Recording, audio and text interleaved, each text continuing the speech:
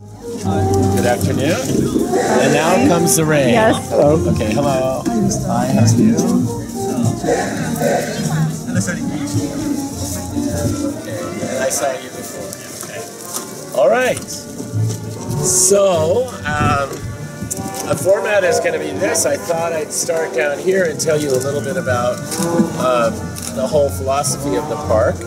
And then we'll walk down Main Street and discuss the sequencing of the lands. And are we then going to go into one the same way we did the last time? Or We can maybe choose uh, which Yeah. land they would like. I'll try to sell you all four of those lands, and then I'm going to give you the chance to pick the one that you'd like me to take us further in, and we'll, we'll finish there in that point. So now I get to complete, compete with an orchestra here.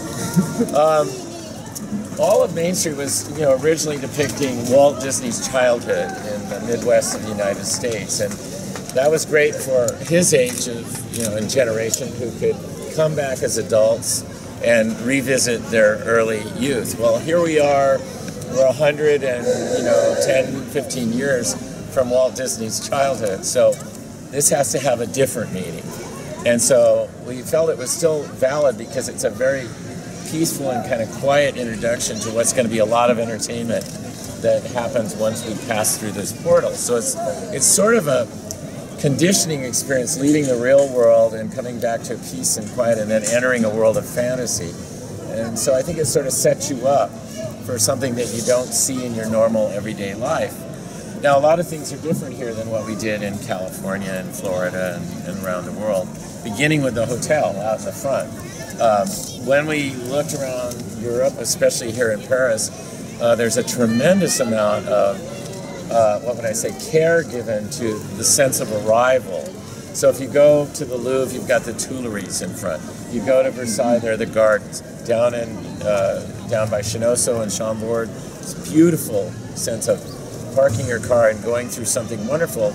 And so we thought, especially being next to Paris, we needed something here that was a gift, something that was wonderful and invigorating before you came in. And we thought, what would be a symbol that would be inviting and warm, and it seemed like an inn.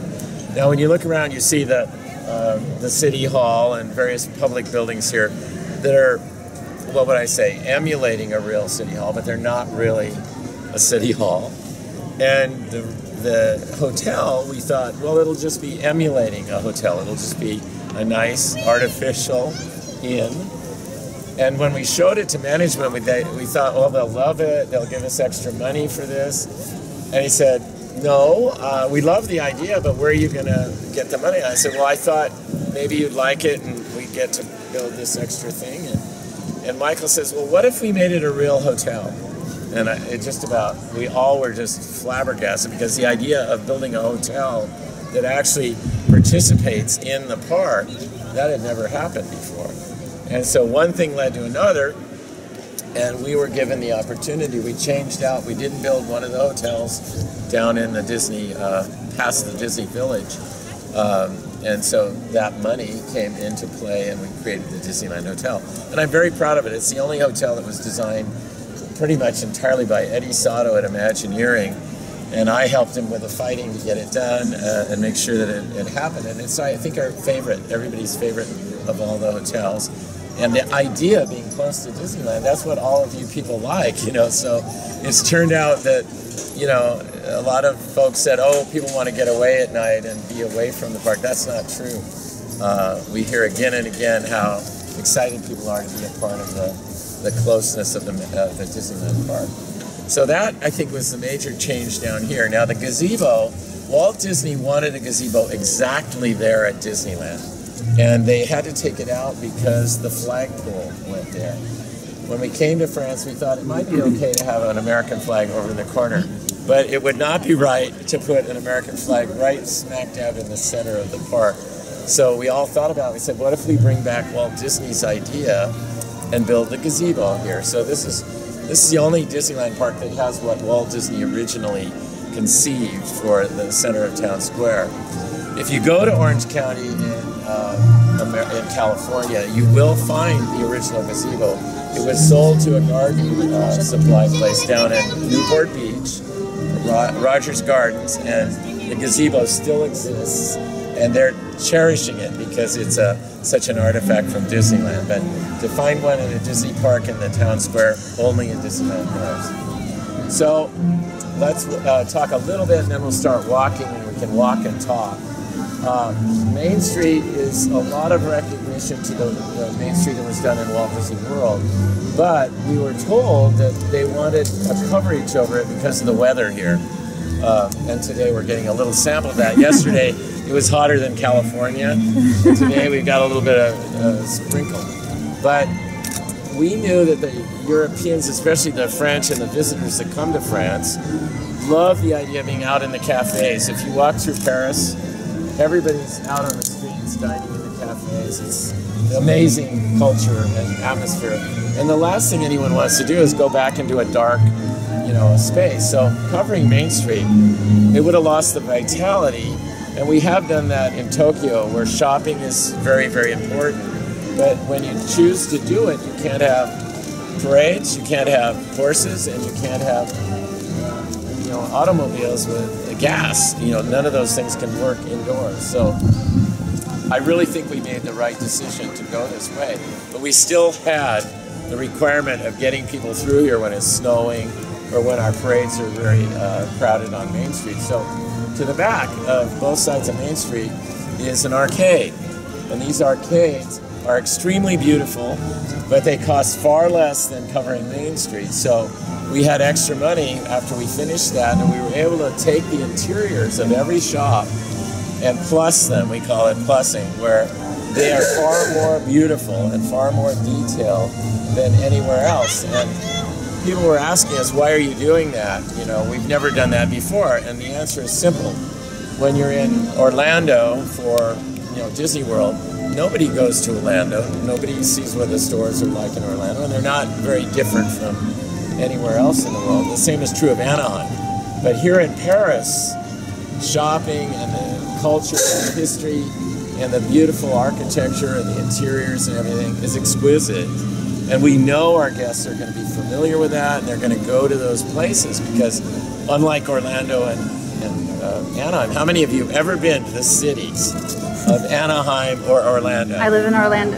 You have been I, I live downtown. there. Oh, you do? yes, I live over there. All right, Well, then you know what. But you know what I mean. Uh, most of our guests go right to Disney and then right back to the airport. Here in Paris, we know our guests are going to the city. So what you see inside these buildings, I'm very proud. I think Eddie Sato did a job on Main Street that looks just as elegant, just as rich as anything you'd find uh, in a Parisian boutique uh, to this day. So, all right, so we're gonna. I think we'll walk down the street, and uh, if anyone has something they'd like to ask about, just butt in. I, you know, I, I'd love to talk, so I'll be glad to just spout Well, I- off on anything. I have a sentimental question. Yes. The Flores Boutique, although I love it a lot, Okay, I know where you're going. that little, the little uh, stand in there for the photographer's studio and everything. I miss that too. But I worked heavily with Kodak when we did Journey into Imagination for Epcot. They were one of the biggest companies in America, and all of a sudden, the little things you're holding in your hand. How many are using film today? Inside that, is there film in there? No. no. So all of a sudden, we had a shop that it didn't work anymore. There was nothing that could be sold there. Uh, even the SD cards, they have such capacity now.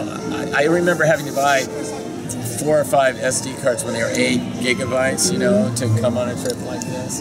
Now you get one that's 128 or 200 and, you know, whatever, 56, and it lasts for like three trips.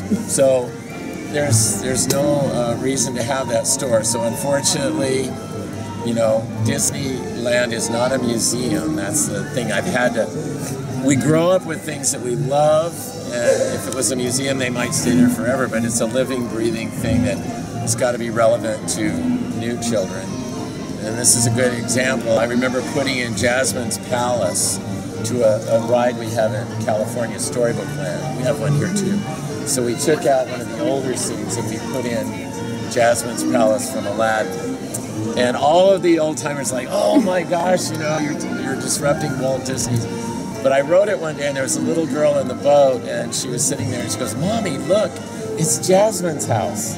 And I realized, unfortunately, we have that problem of making it still very appealing and comfortable for the generations that grew up with it, but the younger kids have to find their childhood in the park too. So, you know, that's what we deal with. All right, so let's Thank let's head out. So hard to build Disneyland with the windows when they've been adding to these windows since 1955, and I am very lucky. My favorite reward that I've ever gotten is not the Disney Legend Award, but I have a window on Disney's Main Street in Disneyland, and that's absolutely, I think, the finest thing for me. Uh, it's not that I don't like any of the other things, but when I looked at those names when I was young, and I saw, you know, Marc Davis and Claude Coats and, and all the people that have uh, guided my career up there, the thought of ever being there, part of this was amazing. Now, Michael and Frank were the closest I ever came to working with the Walt Disney. These two guys, you know, Michael being the Walt and Frank being the Roy, uh, guided this company into doing some of the greatest things that have happened to the Walt Disney Company, from Little Mermaid on up through Lion King and film. And then you look at the parks, we had an Animal Kingdom and Disneyland Paris during that great period. And the most unfortunate day of my career was when I was, a phone call came that Frank Wells had been killed in an accident. And uh, it did change the company. The Disney company is great when everything's working terrific, like it was with Walt Disney and with, with uh, Michael and Frank. And now I think we've got great uh, leadership with, with Bob Iger. So we've kind of, you know, it, it, it varies that way. So I think this is something that we have to look to. And, and when I look up there, I think of those days when we built this and those guys that were really guiding us on and, and how terrific it was. I'm lucky to have all of these names were people involved in the building of a park.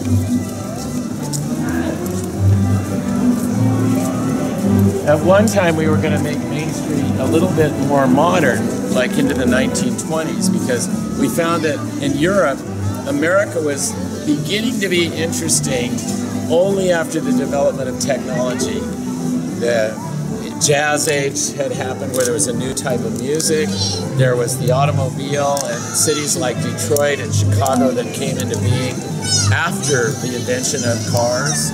So it wasn't like here where everything is built around lake uh, or a river traffic pretty much and uh, the distribution was via horse cars and whatnot so your cities have a different feel it's more romantic in the states everything is, is big and uh, post automobile so there was an interest in that there was even an interest in the gangsters you know so we put together what if we moved it forward to uh, 1920 then Michael had a bad dream one night. He says, We can't destroy Walt Disney's dream. We have to take it back and make it look like all the other Disneylands. But we knew in Paris, Victorian architecture is something you created.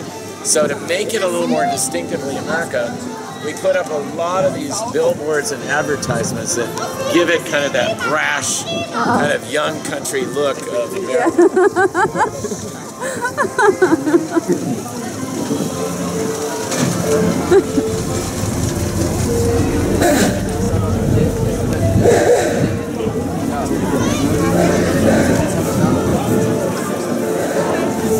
Okay, Walt's Restaurant. Uh, has, has everyone here had a chance to dine in there? It's probably the finest restaurant in the park.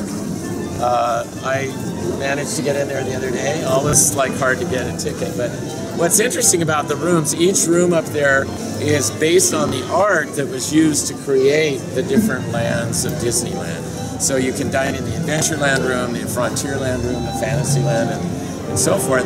And you're surrounded not by, not like if you went into the land and were trying to en- envelop you in an experience, but you're surrounded by the art that guided the designers and got management excited about what we were going to do. So those are the very concept pieces that, that literally guided this park. So it's, it's a really unique experience and beautiful. The food is delicious and very expensive. I had a question about this restaurant. Did you get your inspiration from the from the I think so, yes. I think Here's another castle. that was something all uh, the 33 Club is private. So even though we were employees, we weren't allowed to go there. So it was something like maybe we could do that in person. Yeah. So there's one. I think they plant the, picture, the, the, the flowers so that it, it covers the rainbow. I keep telling Eve, I said, push those flowers down. You could probably see it from Walt's. Yeah, from Walt's you can see it. And uh, Marty Sklar above me there it was my uh, the lead of Imagineering for all the years that I worked there. So it was kind of nice to be partnered with uh, Marty on the there. So all of these mythical things like the Main Street Gazette, they're designed to give you the sense that there's a vitality that people live here at Disneyland.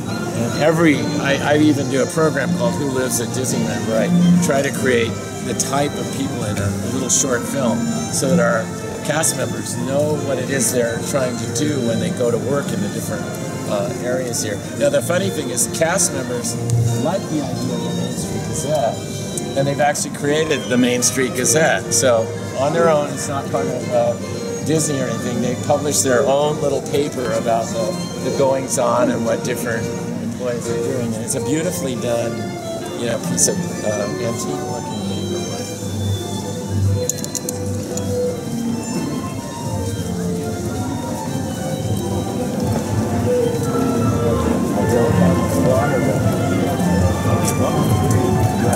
paper.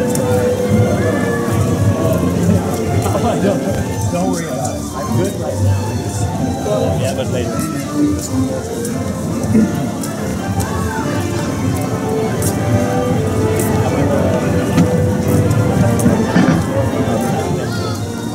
So we're coming up to the hub, and this is as old as Greece. The idea of a spoke and wheel uh, organizational system. I know we've tried to come up with other ways of doing this in Epcot and other parks, but actually, in terms of making it simple for the guests to understand, and of course, you've all, since you're fans, you've gone to other companies' parks and whatnot, and I honestly don't think there's a better way to orient the guests as to where they are, because you come into here and it's sort of neutral, and you have all these different choices of Adventureland and Frontierland, and Discoveryland, Fantasyland, all beckoning with adventures that are very distinctly different. And the other thing I feel about Disneyland in general that Walt, Disney began, and we haven't changed much, is those words, Adventureland and Frontierland and Fantasyland, they're very clear on what kind of things you would expect in there as a guest, and they're very clear to the designers what it is we need to design that goes in there so that you find a land that is um, a reflection of what the word says. It's harder to do when you've got I remember like we had Condor Flats in California Adventure. That was a hard one to figure out. Well, what would I design for Condor Flats? You know, that that doesn't tell me anything. But when I say let's go to Fantasyland, you know it's going to be all about fairy tales, and we're going to be run over. all right. So once you get down here to this hub with the spokes like a wheel, um, people stand and they look and they're beckoned by these various icons that suggest the type of stories that would be beyond. And it's pretty obvious that a castle, especially a fairy tale castle, is going to be the gateway to all of the classic. You know, Walt stole them from Europe. They're all the beautiful classic fairy tales that the brothers Grimm and Perrault, various, you know, uh, Henry Dobson, you know, was uh, Lewis Carroll, uh, England. So you know, these stories inspired Walt to do these incredible animated films. And so, for the first time ever, bringing those back here to uh, Europe was uh, a, a, not really a challenge. It was really fun to be able to bring those stories back here to where they began. So, the castle is far more, I think, fairy tale like than the ones in California and in Florida.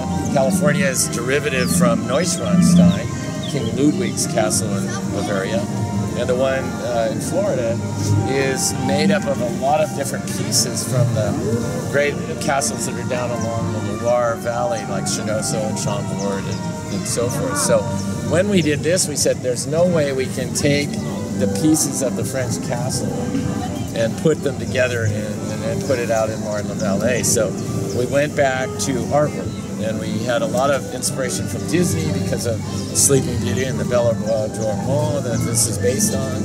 Uh, we also had books and tapestries here that inspired all of us. If you have a chance, if you haven't done it, go to the Cluny Museum where the eight tapestries of the unicorn, I think there's eight, maybe seven, but you'll stand in an octagonal room with all these beautiful tapestries and it looks so much like the uh, landscape that we have around our castle. And the Duke de Berry wrote uh, the Book of the Hours in the medieval period and some of those little paintings have that distorted perspective that was typical of that era that kind of guided us in how we were going to deliver this. Now, the most important thing to me in that castle is the, beneath the castle in the rockwork dwells a fire-breathing dragon. So uh, that's something that I had loved since I was a child. And when I saw the movie Sleeping Beauty, I was 12. Uh, I just, you know, fell in love with that. When I was in college, I did a concept for an attraction with a fire-breathing dragon at the end of it and I've been showing that picture a couple times here to groups uh, presentations, and it looks very close when I was 19 years old to what we were able to do in the castle. So Fantasyland was sort of a pleasure because all of the stories in there belong here in Europe. There are things that we were able to take each of the bits of architecture there and reflect Italy, reflect Germany, reflect England, and reflect France, but in a we're bringing it back in a very uh, abstracted and kind of fantastic kind of way. Um, let's say Discoveryland while we're looking at it. Uh, it was a challenge. Part of the thing we wanted to do when we uh, moved from the States over here was to develop an area, a whole land that was celebrating French culture, European culture. And how do you do that? You know, we build a, a village of French architecture. No, we decided that everybody in the world has done amazing things because they really were influenced and inspired by the dreams that were written about by great minds like Jules Verne and H.G. Uh, Wells and Leonardo da Vinci. Um, you know, generation after generation for hundreds of years have gotten, you know, inspiration for this. When Jules Verne said that the first launch to the moon will take place in Florida, in the middle of the state. Now, how did he know that?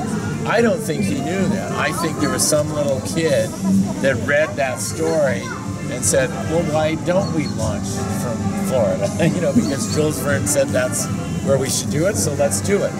I think you can't underestimate how inspired we are by the dreams we read about when we're like 12, 13, 14 years old. Those things live with you for the rest of your life, or at least they should. So we came up with the idea let's make Discoveryland a place where the dreams are celebrated and the dreams fuel the future. So people ask me all the time, well, why does you know George Lucas fit in with Jules Verne and H.G. Wells? Well, just answered it yourself.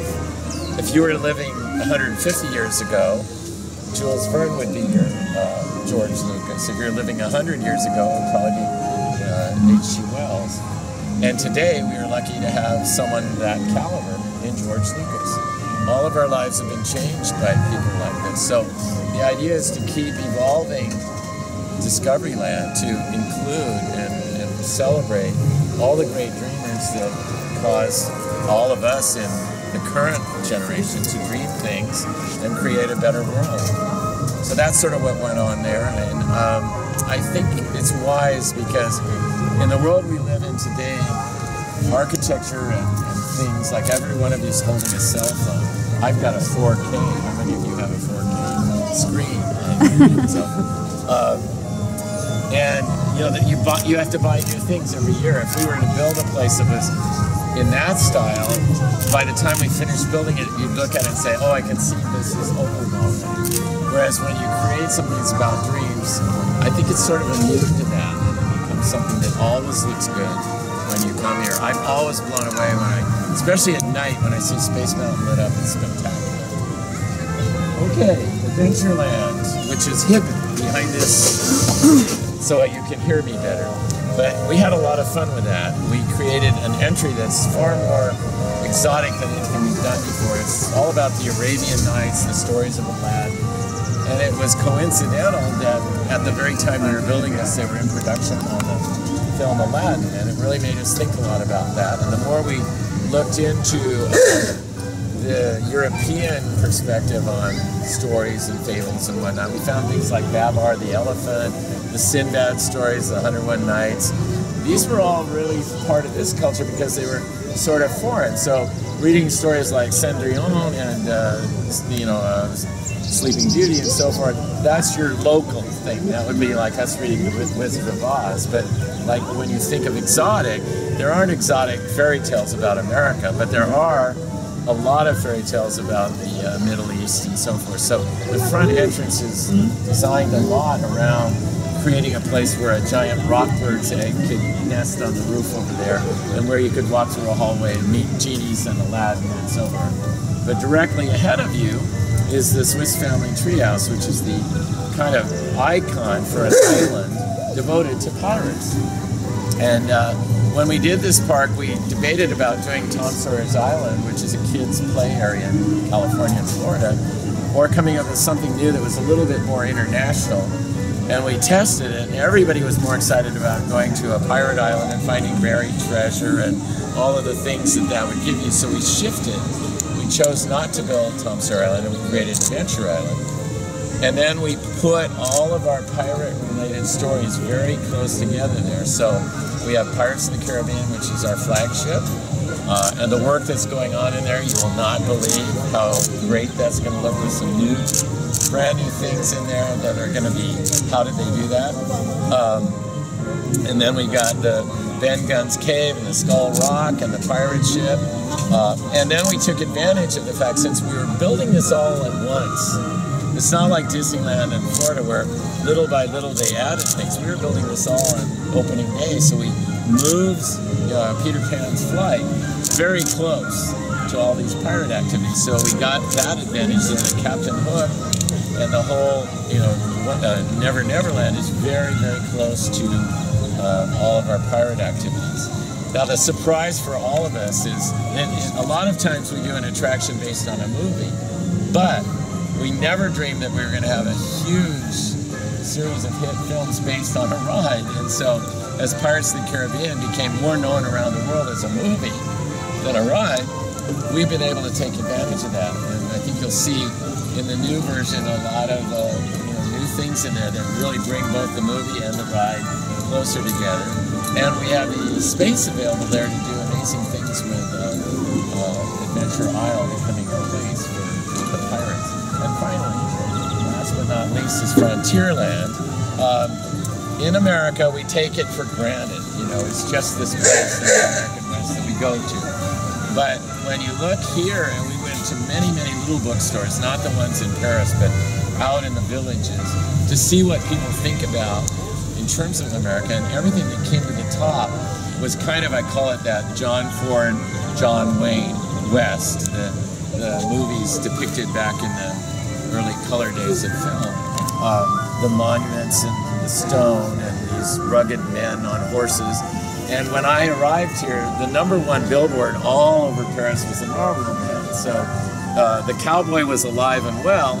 And when I turned on the television, Zorro, Disney's films, uh, television shows from the 50s, those Zorro episodes were still running. And they are today. I was told by a group yesterday, Zorro is still on television here.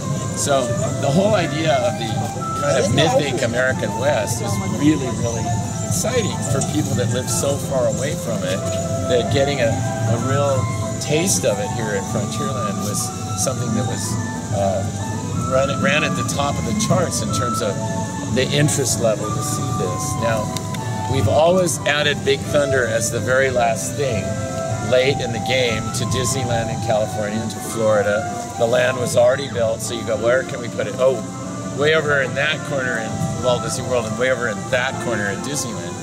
But because, again, we were building everything on opening day, where should the Thunder be? It's the best ride we have in this whole uh, land. So let's put it smack dab in the middle. Well, that's fine, but how do you get out there if uh, the river is running all around it? And I had an ulterior motive. I knew that one of our weakest parts on the ride in California is the ending because we have to save a little bit of the energy to get you out of the station and back down into the beginning of the ride. So unlike the second, the first and the second thrill portion, they go all the way to the bottom. Uh, on that final one, you have to stay a little bit above the bottom so that when we launch the next car, it has somewhere to go before it picks up. But by putting it out on the island, we can dive all the way down under the river, both going out, and then at the end, we add to that this terrific thrill, getting from a very high point all the way down, where we hit the fastest speed, I think, of any Disney coaster anywhere around the world. I might be wrong on that, but I believe it is, and it's pitch black, and it's turned Big Thunder over here into the favorite ride in this park. Definitely my favorite Big Thunder anywhere in the world, and uh, something we're really proud of now because we've added a new finale to it and freshened it up, and I think it looks better than it did even on opening day. So uh, that's the centerpiece. What's great about its location is it's not just fun to ride, but it's really fun to look at. Now, I've talked a lot about all the lands, maybe more than I should have, but I'll give you a, a, a chance here to pick one of these four, and we'll go in there and talk a little bit in more detail based on what the interest level is. So let's start. How many would like to go to Discoveryland and raise your hands? I do not see one hand. How many would like to go to Fantasyland? I do not see one hand. So we're going to leave the park. Right now. How many would like to go to Adventureland? One, two, three. That means everybody wants to go to Frontierland. Yeah. So I was right when I told you Europeans really love that part of the world, right? Okay, so let's go. Struggle between opening up the West to Western thinking versus the Native American who loves and dearly cherishes the beauty of the past. And we thought maybe there's a way we could demonstrate that with this encampment. And it's not an unfriendly Indian village like uh, was often the topic back in the early Western days where they were all, you know, fighting with bows and arrows. And, you know, there were a lot of uh, Native Americans that were very peaceful people and they traded with the uh, settlers and so forth. So what you see here is kind of that moment in time where you have the Native Americans that had the nature, and I think the song in Pocahontas that I love that sort of describes this is Colors of the Wind, where you see John Smith's desire to exploit the land and develop it versus Pocahontas' desire to really love and appreciate the, the wonders of the land. Now we knew going in that Europeans might not have as much knowledge about the type of people that live in a space like this. So if you're interested, you can go into great detail in this park. Like I said, every land has details upon details that I think are richer than we were able to do uh, before. So if you step into the fort here, you'll go up and you'll see a lot of characters uh, that are part of the Western story, all the way up to like Buffalo Bill and Davy Crockett and his sidekick Russell, and uh, you can kind of strengthen your feelings for what it might have been like to live in such a rustic environment. And, and this was only like 150 years ago that the world was like this. It's hard to believe because if you're in LA sitting in a traffic jam, you can't imagine that, you know, that isn't that long, 150 years ago. Uh, that, that things were so incredibly different with none of the technological things we have today. Um, as I said, we built all of this at once.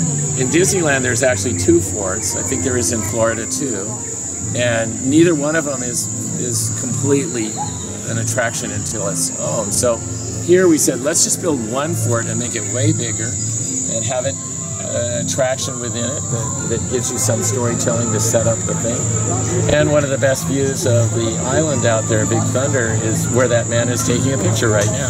So if you if you want to get a good unique view, come here at nine in the morning when we open and get that shot. It's really spectacular when the sun uh, hits the mountain in the right way. So walking through the fort, it sort of becomes a gateway, a gateway to the west. And when you step out, we were very careful in each land to have a symbol beyond that. So I think Big Thunder is the most well, you'd have to debate on it. Is Big Thunder or Space Mountain the most dramatic um, reveal as you step into the land? Um, probably no. I'll let you decide that. I'm looking now, and Big Thunder is nice. I can see all the new safety lights. So Those lights could not only be there because back in 1880 they did not have uh, lights like that. But we care a lot about the safety of our guests, so those immediately come on whenever uh, we need to get people safely out of the. Yeah. And they're not any real river in particular, they're just indicative of uh, the look of very many different rivers that might flow through the, the western area, the Colorado and the Pecos River and so forth. Um, I, I don't like that you're getting the picture of the lights on right now. I apologize for that. What just happened uh, about in the last year is a major, major reconstruct on this to bring it back and actually improve it from when we opened. So it's actually better than when it opened. Technologies are so refined now. We went in and did a lot of technological things, just like even the capture of your photo which used to be a big cumbersome thing. They were able to get rid of all this ugly equipment that was in there and, and make it really look nice over there when uh, water splashes come up. All the trees were replaced, so they're in scale with a mountain like that. Part of the illusion comes across because we scale down all the trees. If we put in full-size trees, you'd realize that the mountain is just a little over 100, 100 feet tall when we want you to think it's a thousand feet tall. 300 meters or so, you know. So we do that by, by changing plant materials and everything else we can to um, affect that distance. Um, what, like I said, this I we talked a little bit about this being the centerpiece, and what we really wanted to do is something that Walt Disney had told us, taught us all, uh, that he wanted all the lands to be alive with lots of movement going on. So by putting the most uh, kinetic piece in the center, no matter where you go, except when it's not running, you have all this activity and excitement. Um, and so if you start over there where the Molly Brown is coming in and the Haunted Mansion, they see the splashdown effect that we have over there on Big Thunder coming through the middle here, all the way over the load area. It's totally captivating. Now our other frontier lands really show a panorama of very different parts of the American West. But a lot of our West looks a lot like Europe. And we thought, let's not do all those parts that just reflect beautiful green forests and whatnot. Let's try to keep an entire frontierland dry. Now that may, may sound easy, but here where it rains every day, the ground wants to be green. And swans want to swim in this water and everything. So trying to keep it look like an authentic American Western desert is very, very difficult. So for our cactus and succulent plants that come out just about now, maybe in another month, they have to be kept in the greenhouse all winter long to keep them from being frostbitten by the, the cold in the winter. And they bring those out and that adds to the uh, atmosphere of the place. And other things that were changed is like, if you were to look at the Haunted Mansion, which is just about in the same place at Disneyland, we have New Orleans Square, which is a part of the West. It's, it was the West when America was moving, but it's not the West that is comes to mind when you think of the cowboy and the, and the Native American. So we took out, we didn't do New Orleans Square. We created something that continues this effect of being in the far, far West. The Haunted Mansion in Disneyland is done in a very colonial and, and beautiful, elegant style. And Walt Disney did say, he said, we'll take care of the outside, we'll make it beautiful, and then the ghosts can take care of the inside.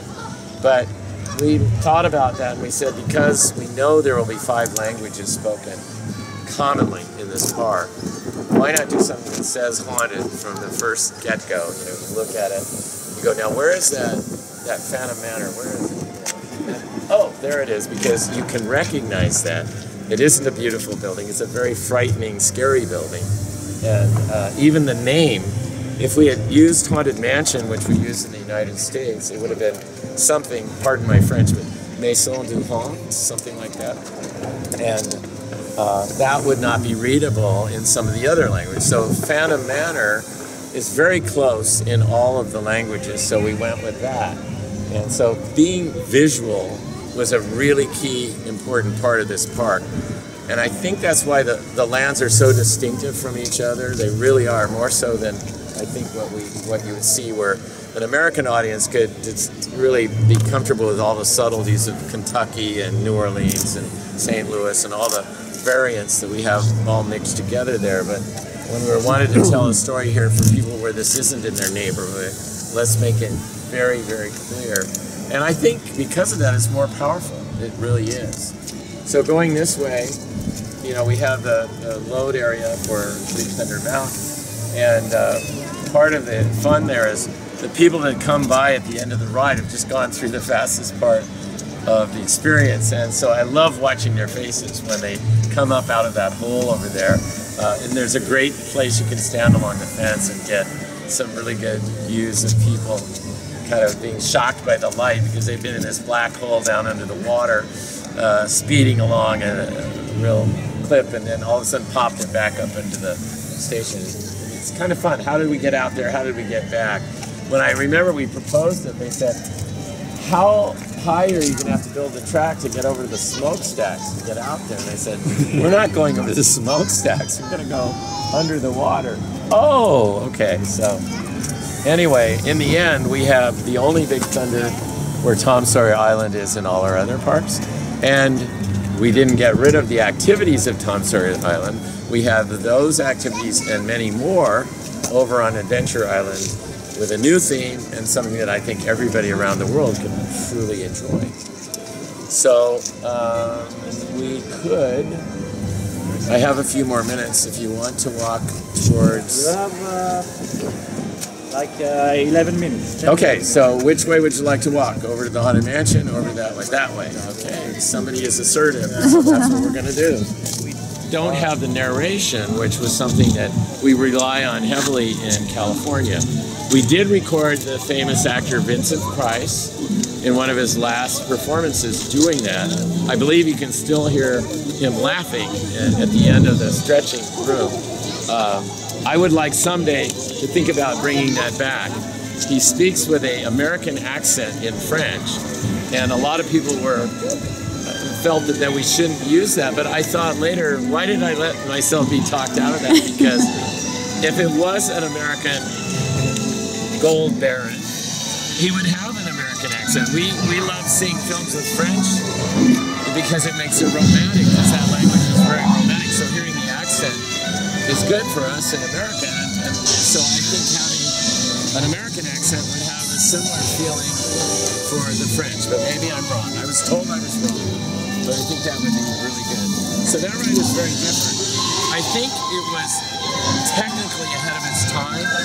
And what's really exciting is now that technologies are coming into being that are going to allow us to really fulfill some of the future, we're going to see some changes in there that will, will be to your liking to make it more, bring those effects really to life. Um, okay, so we're moving now into the southwest, keeping the same dry look. And believe me, I was with Luke uh, this Yeah, fine. Okay. What you're looking at, you know, I, I told you Disneyland is not a museum, but it is a museum. Here in Frontierland, you're immersed right now in authentic mining equipment that was garnered from all over the southwest, from Colorado down into New Mexico. And there was one of our Imagineers named Pat Burke. Pat would have done this on his own. He didn't have the money to do it, so he would just go and photograph and bring back pictures. And we said, Pat, how would you like to actually go out there and find all these things and then you can buy them, you know? And so he was a very, very humble and quiet person, very, very nice. And he would kind of, you know, look at something and say, that's a very beautiful stamp. Stamp mill down there. You would crush the rock and that would be mine. And once it was crushed, then they could separate the gold out of it. That's a real piece. That's a real steam engine that was used to haul the ore out of the mines. So everything you're looking at was actually used about 150 years ago for Pat would stand there and say, well, I really like your that stamp mill is really nice. Boy, I'd love to have. And the person might say, I can see that you really care for this, and I'm getting older, and I'm not going to be able to make sure it's, it's well loved and everything. So I'll give it to you for a, a nice then he'd get out the check and put Walt Disney, you know, and, and they were probably sitting there saying, wow, we could have probably gotten a lot more money. So what was the result of that? Pat had a fixed budget, and we thought we'd only be able to get a few things for that amount of money. And everything you see here is due to Pat being able to uh, spend that budget in the best way possible. I think this is the best museum of Western artifacts anywhere in the world. But instead of them being in a room or a plaque that describes what it was and how it was used, they're out here and you're seeing them because Pat knew how they were used. He put all these scenes together, so everything you see is exactly how the miners would have had it in operation when it was, was working. So they're not out of context in a box. They're actually here, uh, integrated with the attraction continue that theme that this is a real chance to get on a wild mining ride for the woods. Okay, so now we're down to probably about five minutes. So how about some Q and A before we have to break up a little bit? Yes. After 25 years of operational experience and reaction from this, Yeah. if you have to reveal the fact today regarding the design, would you do something differently? I'd say it more like this: We're 25 years into the future, and there's new things. Now, there were no cell phones, really. There was no. There were PCs, but not. It wasn't a part of your life. There were so many things that are different now that you probably would just do differently. So, you know, I look at it and I go, all right, we have Snow White and we have Pinocchio, but the movies, the and the Lion King, and which I love that movie. Wouldn't a Tangled ride be really good? You know, of course now we have, you know, uh, Frozen, all the other opportunities. None of those existed. So you'd say to make Fantasyland more right there with kids today, of course we picked those, but at the time we built this, the films that we had were the ones that we chose. So time, time is a factor in that. It's not like would I necessarily do it differently. Because what I think about this park, most beautiful park. Just walking through it, even if you don't go on rides, you're having a wonderful time looking at it. And so the rides are the part that does need to change as time goes on. So you'll find every Disney park, we have disappointed fans when we take when we took out Adventure to Inner Space, which I grew up with in California. I could still do the entire spiel for centuries. Man had but its own two eyes to explore the. That was my childhood, and now it's going away. But Star Tours is a better show, and, and more people are interested in it. So part of the challenge we have is looking at the park and saying, what is still really relevant? Something like Pirates. You can keep putting new things into Pirates because everybody loves that theme and that story. Um, and then you have to look for the opportunities where, what are the little girls, what, what princesses do they like now? And those characters really need to. But nobody's ever going to take my dragon out, but better. Okay, yes. Um, maybe can you talk about the shooting gallery here? It looks Yeah. like there's the story of the land somewhere Boy. told. Or me- inside the shooting gallery. We can go there if you want, but Yeah, no, no, no. it's right behind. Yeah, I know where it is, but I can't remember what we did in there. Uh, there's the boot hill. Yeah, Boot those, Hill, Those yeah. names. uh, I really, I, I, I you, you- you've hit on something that I haven't checked out since I've been back here, Okay. and uh, I don't remember it. And generally, what we do once we've got the solid idea for the area, one of our designers is given that task, somebody that we trust, and you say, "That's your piece, and you now come and make it the very best you can." And you know, the, each one of us has something that we contribute to it. So. Um, I probably trusted him. He was into the, at that time, whatever the target systems were. Now you can do it with lasers and whatnot, but at the time, well, it was an electronic eye thing and whatnot. So I couldn't really speak about that. Which part of the park holds the, the memories for you where maybe this is a place you want to come back to again and again still this many years later? Well, I have that feeling for every area here. Um, let's just go through. I, I love Big Thunder, and get to do it four times and put it on four, three continents, that's pretty. How many mountains are on three continents? You know, so that. Hey, it's running. I hear it. Okay, so that's probably Frontierland. The castle, because it was such a challenge, and the fact that I got my dragon, you know, so that's pretty cool. And then probably Discovery Mountain, you know, in the submarine, the Nautilus, that, that complex over there. I could go over there on that again and again, both of those. And they're such a complement because the one is aggressive and uh, scary, and the other one you can just get absorbed and lost in the in the fantasy of what Jules Verne and Harper Goff, from, who's the designer of that boat, uh, were able to do. So those are my three, and the hotel. I love the hotel because it was such a challenge, and I, I love the fact that it's now become a product for Disney. So we have the Miracosta and the Disneyland Hotel in Tokyo, and we have the, the Grand Californian in California, and we wouldn't have those if this hadn't proved to be uh, something that was a wise decision. Thank you. Well, I'm with a group right now, so We you, are finishing in two minutes Yeah. and then we'll do, Yeah. some pictures. and Okay, yeah, okay. so um, does anyone have? Yes. You said you went back into Pirates here when you were working. Yes. Just Was yeah, that, was that the same feel when you went into Pirates when they built it back in Disneyland when you started Um? I didn't think about that. No, because I remember this Pirates from the 20th anniversary when I was here of being beautiful and finished. Okay, so I went into it this week, and it's like construction. There's nothing there. I mean, the figures are gone. The sets are all being repainted. The trees are all replaced and all this stuff. So it was weird. It was. I, I had. I thought they were going to go in. You know, the feather duster in. Um, Beauty and the Beast. You know, I thought a bit of polish here and there. No, it's like start over. It's like they are literally rebuilding that ride and adding new things, and so it, it was it was unique. Whereas when I saw that pirate ride, he was talking about I got to ride on the pirate ride. It was the day that Walt Disney died, and the ride wasn't ready. Uh, but I'd never seen a pirate ride. There were no figures in it. It was dead quiet. There were no songs being played. They were just moving the boats through. And I was out there at the park because I didn't know what I was going to do with my life. My my hero had just died that day, and I was just a young kid. And I, I said, I looked in the window and the boats were going, and I walked over to the employee thing, and the, the man said, I said, well, could I ride on it? And he says, yeah, sure, get in.